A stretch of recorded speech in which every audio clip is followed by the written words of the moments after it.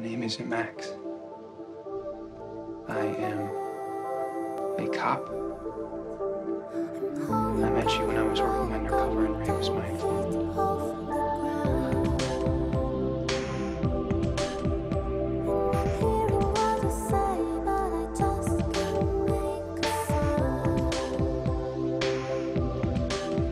if it was real.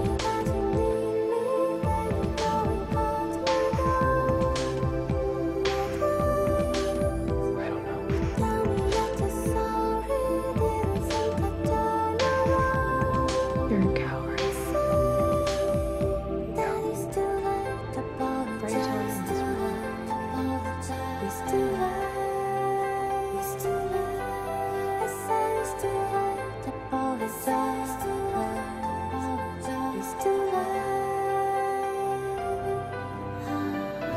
a game.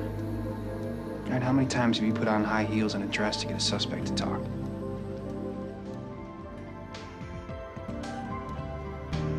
Are you going to tell her the truth?